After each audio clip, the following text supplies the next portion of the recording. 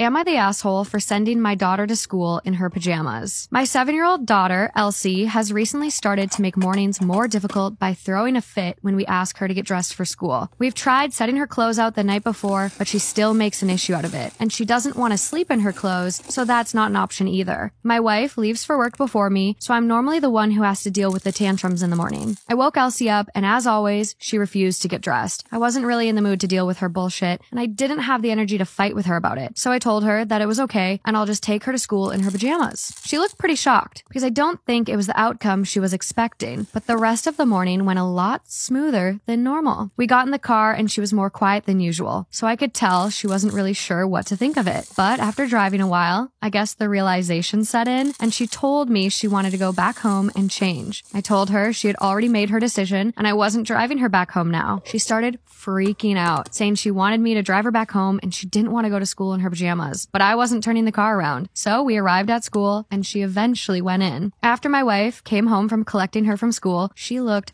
pissed. She didn't say anything in front of Elsie, but later in the evening, as expected, she went off on me. She started saying that I had embarrassed her and made us look like bad parents who can't be bothered to dress our daughter. I told her that I'm sure Elsie isn't the first child to go to school in pajamas and it's not the end of the world. And she wears normal clothes every other day. So one day in pajamas isn't going to make everyone think we're bad parents. She told me she thought it was a cruel thing to do to Elsie, but in my opinion, it was harmless and taught her a lesson.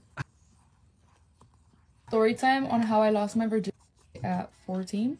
I should have used the word V card. I feel like I've already be oh I've already become an overshare with my life and at this point fuck it. I want to tell this before continuing my X series because my last X series story time you guys were wondering about how I was talking about how I was like 15, 16 and like taking off and putting back all my clothes. Let's just get the explanation out. Okay, so if you guys been following my ex series, it started when my ex had moved from my high school and like after we started talking again and he didn't go to my high school anymore, I didn't know how I was gonna see him. So I had the bright idea to start sneaking out with him. Bitch, I don't know how. The first time I snuck out with this man, we weren't even comfortable with each other like that. If you guys were keeping up with the series, the way I explained he was in the beginning, it felt really genuine. I was comfortable in the sense that I felt like he was serious about me, but not comfortable in the way that we had like not really spent much time together before. The first first time we snuck out, had my first kiss with him. And then we snuck out a couple other times after that. Girl, we weren't even like official yet. But in my head, and I think that he thought the same thing, we knew it was like exclusive, or that's how I saw it at this point like i was sure the way that we were talking the way he was towards me i was sure i did like him and i wanted him to be my first boyfriend i think we had been singing out a couple times and we were good you know like it was like we knew we were like together well again at least that's how i felt i really like this relationship left me so traumatized to the point that like i really don't know the way he saw it the whole time like all along one day we were like texting and he was flirting with me and i really did not know how to flirt like i just kind of like tried to go along with it, you know, because I had never flirted with anyone in my life before. Girl, I forgot, like, I don't know exactly what he said, but I remember a text where he said, Oh, we'll see about that when we see each other. And then I was like, Girl, when he texted me, Oh, we'll see about that when we see each other, I was like, Wait, what do you mean? I was like, Wait, I'm fucked? I was like, Wait, what is he talking about? Like, wait like what does he think that i mean? Like this is what i mean by i was like young innocent and naive. Like i really didn't know what the fuck i was doing. I really didn't like this was my first boyfriend. I didn't know. So then like i was shooting bricks the whole time that we're gonna sneak out to see each other. I was like wait what do you mean? I was like wait. Later on when we had like years of dating already i didn't even tell him none of this. Like i never told him none of this. So then the day comes when we're gonna sneak out and i'm like wait bitch like you can't back out of this now. Like we're over here talking all of this stuff through freaking text. You can't back out now. When i tell you i barely even knew the meaning of sex like i barely knew that fucking meaning so I was shitting Brit. I really hope you guys don't see me differently after the story time because this was me like back then. I don't even want to tell you guys the location because obviously we were sneaking out. I was 14, he was 15. Like, bitch, where the fuck were we gonna go? Like, I don't even want to tell you guys the location, but you could only imagine it was some hood rat shit. First time was an attempt this time that I was really fucking freaking out because I didn't know that he meant that when he was like texting me this flirty shit. Like I didn't know he meant that. It was two times, okay? This setting was even like worse than the second time. I kid you not, the only thing, I've said this before in my YouTube Q&A video,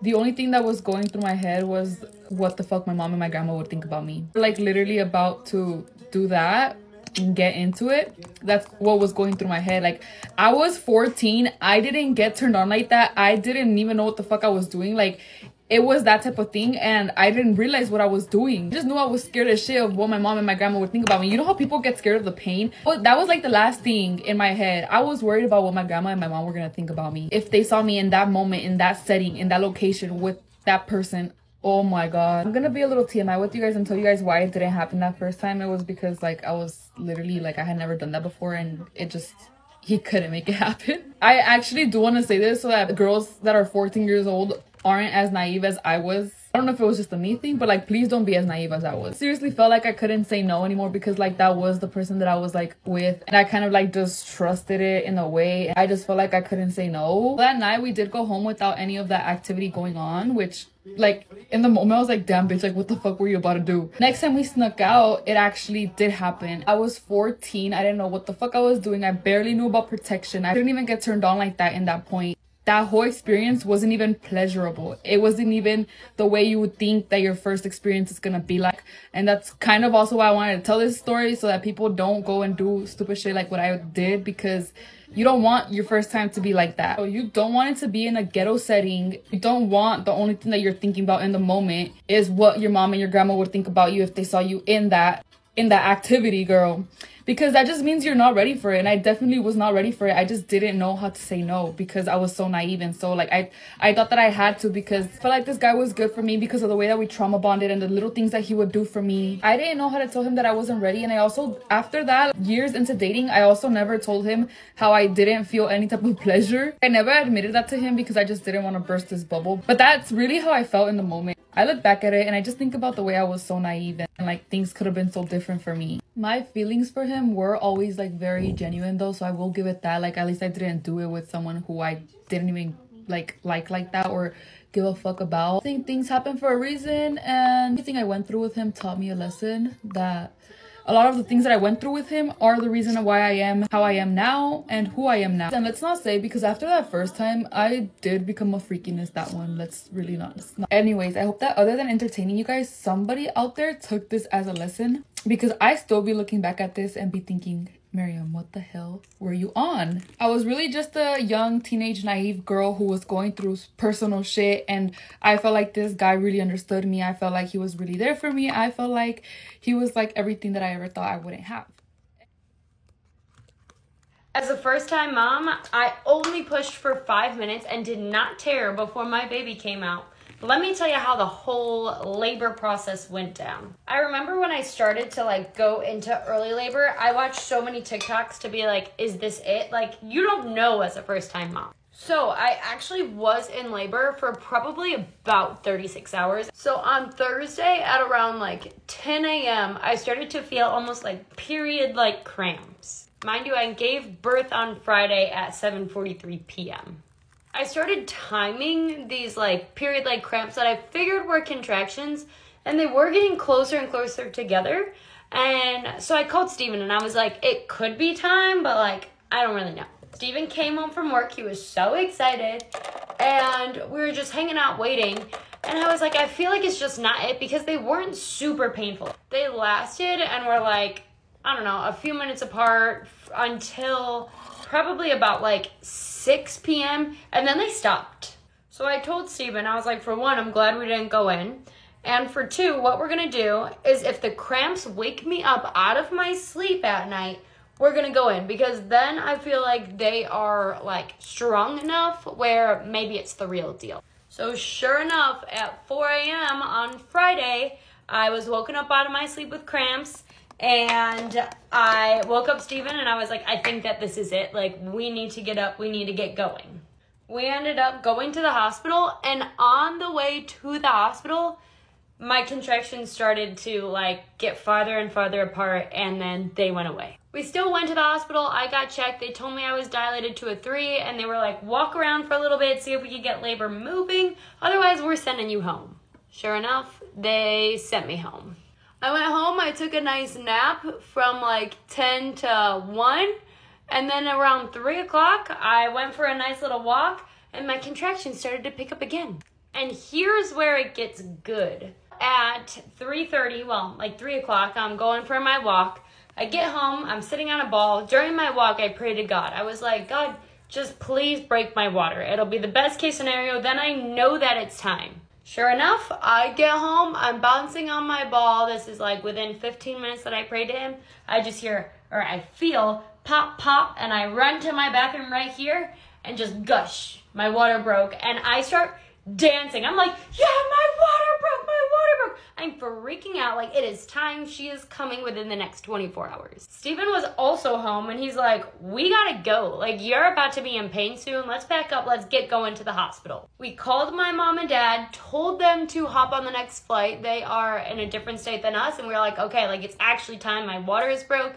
And we got in the car, of course, 3:30 rush hour traffic, but I was just vibing. So we get to the hospital and we go through triage and they make sure confirm that it was my water that broke as if i just like was peeing my pants like over and over and over um, obviously it was my water that broke went in for um, got admitted to labor and delivery and this is another crazy part of the story so they checked me and I was at a five before and they were like, okay, for a first time mom, it takes like hours. We'll check you around like nine o'clock. Then we'll check you in like three hours after that. So Steve and I are like, okay, is she gonna be born tonight or on Saturday morning? Like, when is this happening? So it just so happened that at 7.30, my doctor came in and said, I'm going in for a C-section. I just wanna check you really quick before I go in just to make sure.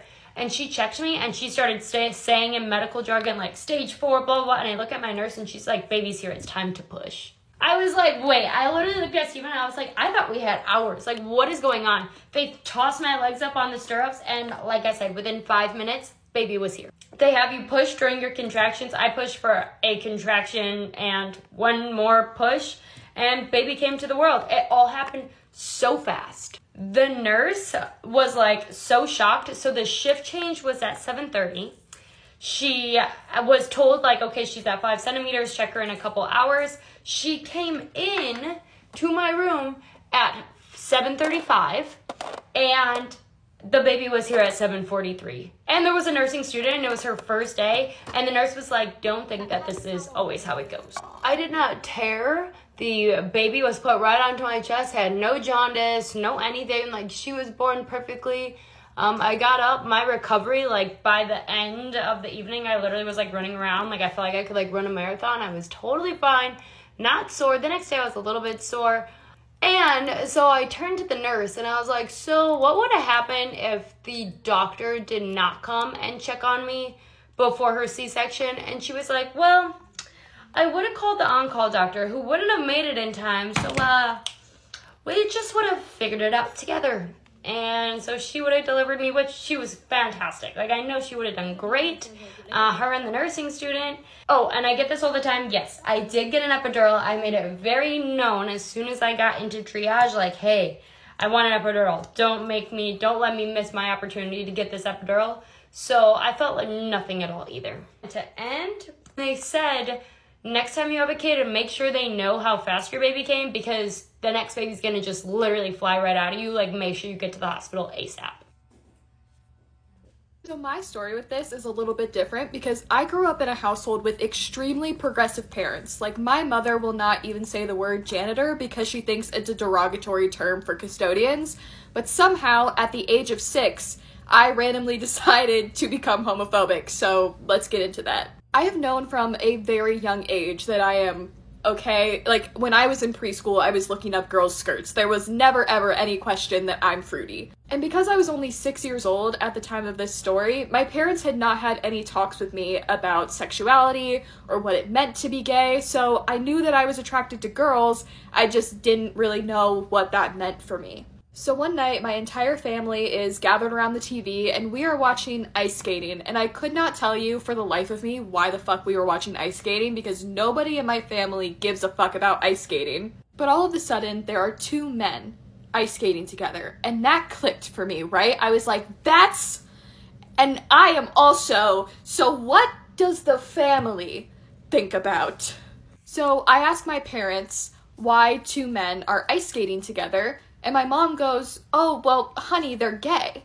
And I have no idea if the two men ice skating together were actually gay or if this was my mom's way of kind of planting the seed in my brain that not all romantic relationships are between a man and a woman. But regardless, This was a huge moment in my life because this was the first time I was being told what being gay is. So now my little six year old brain is running at a thousand miles a minute, and I'm like, okay, two boys liking each other is gay, and two girls liking each other is probably also gay, but what does the family think about gay? I still have no answer. And in my little six year old brain, the most logical way to get this answer from my family was to turn around, look at them, and say, I hate gay people. What do you mean you hate gay people? You are a gay people! So obviously, chaos ensues. My mom is losing her mind and she's saying, No, you don't! You don't hate gay people! We don't hate anybody! And then my older brother looks at me with this face full of horror and disgust and he goes, My uncle is gay! Like it's not also my uncle. So I've just caused mass panic for my family, right? Because they think that I am a homophobic six year old, but I'm just sitting there, la la la la la, my family loves gay people. I was stoked as fuck. This is fantastic news for me. I just found out that I'm gay and that my family loves gay people in the span of like two minutes. Really unfortunate turn of events for my family, though, to find out that they had a homophobic six year old living with them but still really, really great news for me. I never came out to my parents either. I just brought home a girl one day and they treated it the same exact way they did when I brought boys home in the past. They welcomed her with open arms and now I am marrying that girl and my parents absolutely adore her. My husband got arrested at the altar and is now locked up in a Mexican prison. Story time! So at the start of the month, I thought I was marrying my best friend Steve. We had decided that we wanted a destination wedding and we were really, really in love with Mexico. We booked our dream venue and invited our nearest and dearest. I had my best friend Amy as my maid of honour. We'd literally been best friends since like year one. Always dreamed of the day we'd get married. Steve had Amy's boyfriend as his best man. So the ceremony is incredible. Everything is literal perfection. Until the line, anyone have any reason why these two should not marry? At which point, Amy chirps up, starts sobbing. She says, I do. I'm like, bitch, that is my line. I say I do. This is when she discloses that she has been having an affair with my husband for three years. I was a mess. I was looking at Steve and looking at Amy, looking at Steve, then looking at Amy. Then Steve's best man, Dave, who is obviously Amy's boyfriend, is like, the fuck? He is then looking at Steve, then looking at Amy, then looking at me. Steve is like, why are you doing this? Don't do this. He's like, why couldn't you just keeping it a secret? Why now? Amy's sobbing like, I couldn't let you go through with it. I love you, Steve. Your fucking boyfriend stood right there. the crowd were like this. Literally no one had any clue what to do. And then the fight happened. Dave, the best man, literally smacks Steve over the head. Steve's on the floor. He then proceeds to push the floral archway that we're getting married under straight on top of him. Me and Amy are just screaming. Steve gets up from underneath the archway. I've never seen anyone change quicker. Steve was about to choose violence. He walked up to his dad who was sat in the front row and very calmly asked if he could have his chair. Don't know why his dad stood up. Steve picks up the chair and throws it at Dave. Like Dave has done anything wrong here. Anyway, at this point the officiant has run off. We didn't know where she'd been. Later to find out that she'd called the police. Honestly, I don't know how these police got here so quick because they were still fighting by the time they rocked up. This moment in time, Steve was on top of Dave. He couldn't see Dave doing anything. And Steve gets arrested in Mexico at our wedding after I found out he'd been having an affair with my best friend. Did anybody have that on their bingo card for this year? So Steve gets arrested. Amy goes chasing after them. Hun, you can have him. Of course, we paid for this incredible venue, an incredible like party, and it felt like a waste not to go ahead with it. So me and Dave just got absolutely hammered. The DJ didn't speak a word of English and thought that me and Dave were getting married. Just thought, fuck it, let's play into it. We had our first dance. Some of the guests thought it was the strangest thing ever. So the next morning, I woke up and I was in Dave's bed. I've had some really traumatizing bikini waxes. So here are just some of my most traumatizing stories from getting a bikini wax. I must have caught my bikini waxer on a really bad day one time because the way I could just feel it in her energy. She was not in a great mood. The way that woman was ripping my shit was as if I had fucked her boyfriend and she like found out and wanted to take out her anger on my bikini wax. I like kid you know, I almost cried. I almost cried in that moment. I was like, she is going to take my whole with her at this point. Like, I just know she was having a bad day. And the rips were insane. As vocal as I am, I really can't. I don't, there's some type of vulnerability when I have my literal vagina in a bitch's face that I just cannot like I didn't want to be like, ooh, take it down a notch. Like take it down a notch. I just like don't have it in me. I just had to lay there and take it like a champ. And it was honestly it was one of my worst painful waxes. Next one has to be my most vivid experience I've ever had. This woman is applying the hot wax, applies it directly to my clitoris. Okay, I don't know if I can say clit, so I like had to say the, the medical word because like uh, I'm already beefing with TikTok and like they would be like, I'm taking this down, so let's just get medical with it. My clitoris. I just was like, this woman, this is gonna be the worst fucking experience I've ever had in my life. So at this point, I'm like, she is trying to take my clitoris with her as a fucking souvenir. Like there is no, I've I've had so many waxes. There's no need for the hot wax to be there ever, ever, ever. That wax shaped me as a woman, and I was like, I can't do this shit anymore. But I bought a package, so it's like I have to go back. But that wax, I, I will never. I called Tizzy right after. I'll say, you'll never guess where she put the wax. You'll never guess. But this worst wax, like I will never forget this because it was my first wax in years, and I like wasn't familiar with the wax etiquette. Like I low key forgot about it. I was like, wait. The, you're supposed to let the hair grow to like a grain of rice, right? I did not fucking do that. I had like shaved a week prior and then went in to go get a wax. They should not have waxed me, but but they did. Like I saw Jesus himself during that wax. Like Imagine your first wax back after years and my hair maybe like this. It's so fucking small, like so small. I should not have been waxed at that time. I remember being like, this hurts so much more than what I fucking remembered. Like, this is so fucking painful. And I had to act really cool and chill in this wax, mind you, because she was like, oh my God, like, I love your TikToks. As she's staring at my literal clitoris, she's like, I, I love your TikToks. And I'm like, yeah, girl, let's, let's talk TikTok. Like, I'll always talk with you guys. But like, I I genuinely was about to end that wax early, and I'm not like a pussy ass bitch. Like I can take some fucking pain, but I was like, I think I might need to end this. I left that wax feeling like I just like a different. I felt like I wasn't even on this planet. I was like, I'm in so much pain. Like, I don't feel like me. The girl was like, I couldn't get all of it, but like, you could come back and tomorrow or like when it grows out a little bit more and I'll get it more. I'm like, don't you even, don't you worry about it. You'll never see me again. Like, don't you worry about it. It's fine. But love you, girl. And thank you for liking my TikToks. I hope you like this one. No, but for me during the wax, the worst is when they're like, all right, deep breath, three, two, and I'm like, shut the fuck up, shut the fuck up. Like, don't even count me down, bitch. Just rip my shit. Like every time I hear the all right, deep breath, three, two, I'm I want to kick a bitch in the fucking head. Like I really do. It's just like rip my shit and keep it going. Let's make it quick. Let's make it quick. And don't, I can't do this. My mom had a stroke on Easter of 2021 and it eventually led to her death. Y'all know I love talking about my mama, but I thought since it's Easter and it's been three years now, which is crazy, I would shed some more light on what actually happened. So back in 2021, I was the breakfast manager at a Holiday Inn Express where I basically made all the scrambled eggs, bacon, sausage, and prepped it for the day for the hotel guests. My mom was retired, but she had been working as a substitute PE teacher at one of our local elementary schools, but also on the weekends, she would sometimes come and help me at the hotel. I remember she had bought a whole bunch of decorations from Dollar Tree and set up the breakfast area to be Easter festive themed. My mom was disabled, but she didn't like not working, so that's why she was working those two jobs. She was actually off on Easter weekend though, so I was at work and she had told me that she was going to be doing some yard work outside, like mowing the grass, cutting weeds, whatever. So right after breakfast had ended, I was cleaning up and I get a call from her and she sounds really out of it on the phone and she told me that she thinks she got overheated while she was mowing the grass. I asked her if she needed me to do anything, if she was okay, and she said, no, don't worry, I'm inside now in the AC. I'm drinking a lot of water.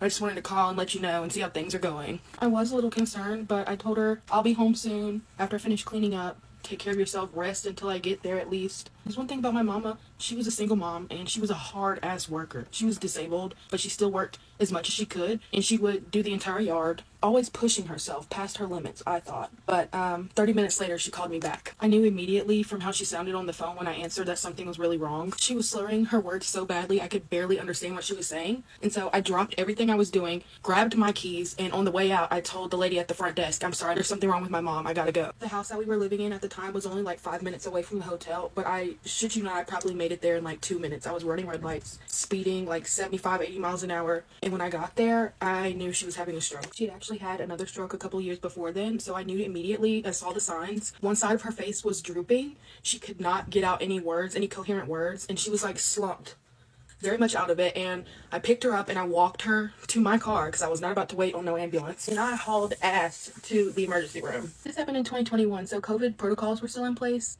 So we got to the emergency room, there was a table with nurses sitting outside of the building, and I checked her in, and I had to wait in my car in the parking garage for hours. It seemed like it took forever for them to call me and get me an update, but I waited a little bit longer, and they let me come in finally to her room to see her. They had her on an IV getting something called TPA, which is really helpful if you're having a stroke and you can get it within the first three hours. It can save a lot of lives and it can save, I think it like breaks up the blood clots in your brain or something like that. I was just glad to see that she was stable and the doctors thought that with the TPA she would be okay. But I remember looking down at her arm. I was looking at her, I looked down at her arm where the IV was and the entire bed underneath her arm was soaked. I started freaking out. I brought it to the attention of the nurses and they saw what I was looking at, what I was talking about. They very quickly rolled her changed the sheets and restuck the IV in her. They were moving fast, y'all. So I was freaking out. I was like, was that the IV with her TPA in it? And they said, yeah, but don't worry. We have it fixed. Everything's going to be okay. And I'm like, okay, but I, she's been in here for hours. So how long has she really been getting the medicine and has any been getting in her system? I don't know what it was, but something about the way they sprung into action when I pointed out the very large puddle of liquid underneath her IV. Something about the way they were rushing so bad just I just had a gut feeling and I started recording. But one of the nurses saw me and looked at me and goes, You are not allowed to record us. And trust me, I understand like not wanting to be uncomfortable with somebody recording you at your job. But to me, like that was the health of my mother in question. And the way y'all are acting so sketchy about this, I feel like you know you fucked up. But my mom was stable and she spent a few weeks in the neuro ICU before she was moved to the rehab level of the hospital. After a couple months, she was discharged to come home with us and scheduled to have rehab like two days out of the week. But she wasn't really progressing as fast as she wanted to. So she decided she wanted to move into a rehab facility slash nursing facility so she could get physical therapy every single day. But after a few months at the rehab facility, she started declining again because the stroke had affected her brain a lot more than we had originally thought. And she ended up passing away in January of 2022. I still wonder to this day if I was correct and that was the TPA medicine leaking out of her IV and if they had actually inserted the IV correctly into her arm and she'd been getting all of the medicine when I got her to the hospital if it would have saved her life or like, you know, prevented more of the brain damage from happening. But but whatever happened happened and I know that she is no longer hurting anymore. She is healthy and at peace. And even though I was really depressed for years, up until like the end of last year, honestly, I have come to terms with her death and I'm at peace about it too. Strokes are hereditary on my mom's side of the family. She had a couple. My grandma also died from the complications after having multiple strokes. Even though it was hereditary, the doctor said that it was also probably due to stress. And so I think it's just really important that everyone knows the signs of someone having a stroke, but especially if you have it in your family. If it runs in your bloodline, you need to know. Because a lot of times, if you can recognize the signs of someone having a stroke and get them to a doctor ASAP, you can save their life. So the way I learned to remember the signs is by remembering the word fast. If you can remember the word fast, then you'll remember the signs of a stroke. F stands for face drooping. Like if you notice one side of their face seems to be like they can't move it that well, face drooping. A is for arm weakness. Uh, when people have strokes, it's harder for them to lift up their arms or squeeze things. So if you notice they're having any weakness in their arms, a is for arm weakness. S stands for slurred speech. Self-explanatory. So if you've noticed face drooping, arm weakness, or slurred speech, then it is T. Time to call 911. But Am I wrong for ruining my younger daughter's engagement announcement? My husband and I have two daughters, one who's 32 and another who just turned 25. Our older daughter was married for six months to her partner of seven years. They divorced two years ago, and since then, my daughter has been dating other guys, but not as serious. My older daughter always expresses how she wants to be happily married to the right person and to be a mom. She came out of a very toxic situation with her ex since he had cheated on her with multiple women and even let his mom verbally abuse my daughter. Ooh, I already feel the favoritism coming out of this one. Ooh, you are Mm. She has expressed how she feels she deserves better, and I want the best for her as well, and it saddens me to know she does not live the life she wants to. My younger daughter has been with her current boyfriend, now fiance, for five years. One week ago, he proposed to her, and she came home to show us the ring and announce it. My husband and I told her congratulations, and I said, Well, now let's hope your sister finally finds her happiness too. My younger daughter didn't reply at this, but gave me a side eye. We were then calling relatives to announce the engagement. All of them were happy for my younger girl, but for all of us, it was bittersweet sweet how my older daughter still hasn't found the happiness she wishes for. My younger got pissed about how every one of us turned her engagement into a pity party for my older girl, and she told me she can't even have this one special occasion to herself and how she can't even be engaged and announce it without everyone making it about her sister. My, my husband and I told her not to act jealous and how she should be more understanding and empathetic on why we are also mentioning her older sister. She says we are the assholes for finding excuses on why we turned this into something about her sister and how she believes we'll find a way to make her wedding about her poor older sister as well. I thought her reaction was uncalled for and that she lacks empathy for the traumatic divorce her sister went through. But part of me and my husband also believe that we should probably not make it so obvious, and we believe we might have acted a little like an asshole.